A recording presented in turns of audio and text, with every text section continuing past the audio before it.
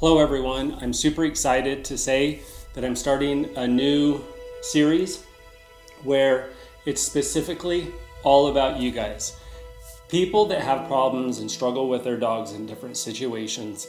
In a format like this, as far as YouTube and videos, and going through the comment section, sometimes it's really hard to be able to know exactly how to serve you best.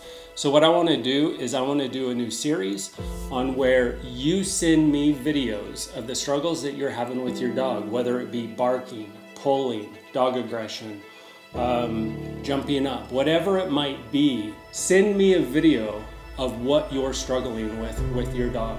That way I can make a video where I analyze it and I speak directly to you as far as what I would do if you were in front of me in a private lesson where I'm able to give you proper instruction so that way you're able to move forward and start to have better success with your dog. In that video, let me know what you want me to call you by, whether it's your name, a call handle, whatever it might be. Also let me know uh, the age of the dog and how long you've had the dog. So I'm super excited for this series. I'm really excited to see what you guys send me.